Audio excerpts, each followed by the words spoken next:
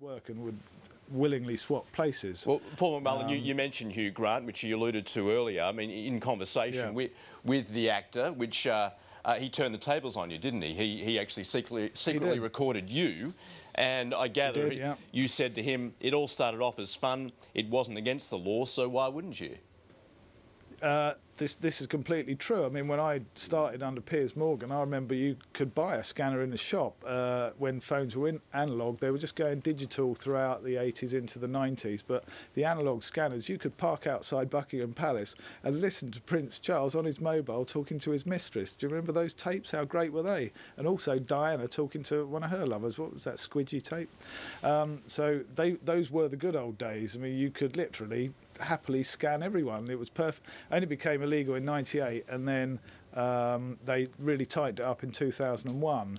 But well, I mean, you mentioned it became so... it became illegal then, but was there no talk on the editorial floor there about the morality of what you were doing?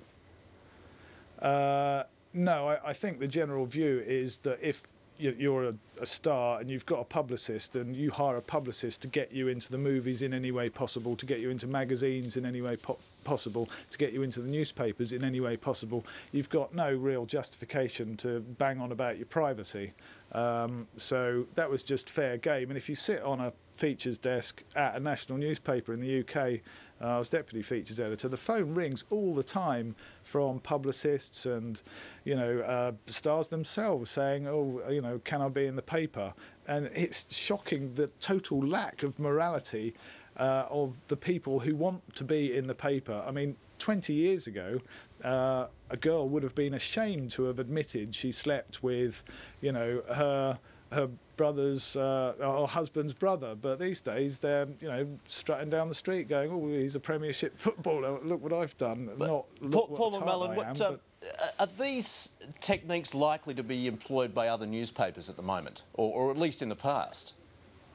Um, well, I mean, I've worked for, uh, in my time, I worked for The Sun, The News of the World, and The Sunday Express. Um, and uh, the Sunday Express didn't actually. Um, they're very clean. Uh, I, I, I, don't really want to point the finger because uh, I am, although I have bought a, a, bar down in Dover called the Castle Inn, please pop in. Um, uh, Hugh Grant forgot to pay for his beer. It's only three quid a pint and he walked out without paying. What an outrage. Anyway. Um, so I've lost my train of thought there. What was the initial question? Well, look, I'm, I'm asking, have other papers or do other papers oh, yeah. use um, these techniques? Uh, yeah, well, the part of the idea of me buying a pub, I had this daft idea that I was going to run a news agency from a pub, but it's kind of gone a bit awry as any idea to run a, an office from a pub might.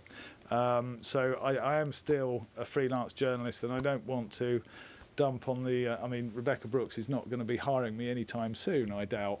I've possibly ended my career in the last three days, so I'm not going to point the finger at other newspapers, but clearly you're spot on, yeah. Well, well let, us see maybe uh, if you can offend some, some other people up the food chain. I mean, how far does this reach up the chain of management, do you, do you believe? I mean, would, for instance, would Rupert Murdoch be aware of what was going on?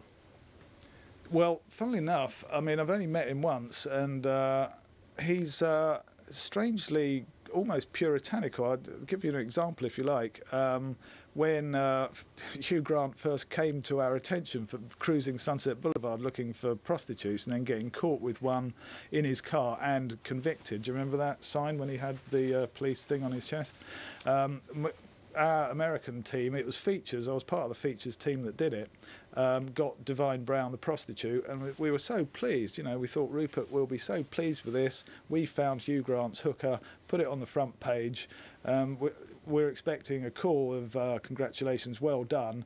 And he was going, gee, mate, isn't this a bit tacky? And I thought, oh, blimey, I mean, that it's almost a conflict that um, you know we're called the news of the screws. I mean, do, does the master not realise what we do? Um, so. The, I don't know. I guess we were making a lot of money, and uh, the editor has free reign, a free hand, until she does something as stupid as uh, you know, bringing the. I mean, when I first got a job at News of the World in '94, I was so proud uh, to tell people this. I mean, I was well paid, had a good salary, and then I got promoted, and that was great. But for about the last week, you know, I wouldn't tell anyone. It's uh, I'm almost a bit ashamed to be associated with a paper that hacked into the victims of you know, seven seven. I mean, it would be the equivalent of uh, I don't know. The would it be the Bali bombings? Imagine if an Australian journalist had hacked into the victims of that just to get personal details from them. I mean, would you like that guy? I don't think you would. And, and, so, one, one would presume that over, given this has been going on for years, that the newspaper would have the, the record of, uh, well, hundreds, maybe even thousands of tapes and, and records of what was going on. Do you think they would still have them, and would uh, police be able to access them, do you think? Yeah, good question actually. Because um, when I started uh, at the News of the World, the golden rule was if you ever had a conversation with anyone that was in any way significant, not just a star, but anyone involved in a story, you had to tape record it. I mean, I came to work with a passport, a credit card, and a tape recorder in here. Um, uh, more often than not using it surreptitiously. So um, uh, when I moved up to being uh, deputy features editor, the first thing I did, I rang the PIs. Uh, have I said this already? I can't remember. It's been a long day. Uh, that we were paying like two, four thousand pounds a week to, to ask, can I hear the tapes of your blags? Uh, when they were trying to blag a PIN code for, you know, you have to tap in a PIN code to access someone's messages. Um, and some of the blags were simply atrocious. One of the PIs was an ex-Hells Angel. Another of the PIs we used was, you know, this guy Glenn Mulcaire, a failed professional footballer. I mean, why are we paying these people so much money to do a job so badly? And yeah, you know, what a mess they have made of it. Um, and, and, you, and of course, you're also paying the police. Uh, indeed, that's not quite as uh, widespread as imagined. I mean, it, there's just kind of historical precedent to that. I know that it became illegal in 1901 in the UK. I don't know what happened in Australia. I imagine it's illegal there also. Um, but throughout the 70s, the flying squad, you know, the Sweeney, if you like, um, were well known for taking money uh, regularly. Uh, and it, you know, sometimes maybe dangling a carrot in front of a police officer, and it could be. I mean, the most amount of money I ever paid to anyone for a story in cash was thirty thousand quid in two carrier bags, and that's quite a big carrot if. Uh, you know, you're a copper and you wouldn't normally uh, speak to the press. But let's say you so, sorry, you say to, you, um, you paid a policeman thirty thousand pounds. No, no, no. I paid someone who was uh, looking after someone's security, uh, who wasn't at that time. Well, it doesn't really matter. I've actually been told not to talk about specifics in case I implicate myself.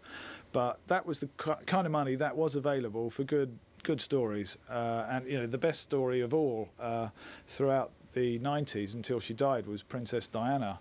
And uh, I mean I knew, and we knew, the features desk at the News of the World knew, uh, you know, where she was going, which plane she was going to catch, who, what guy she was with.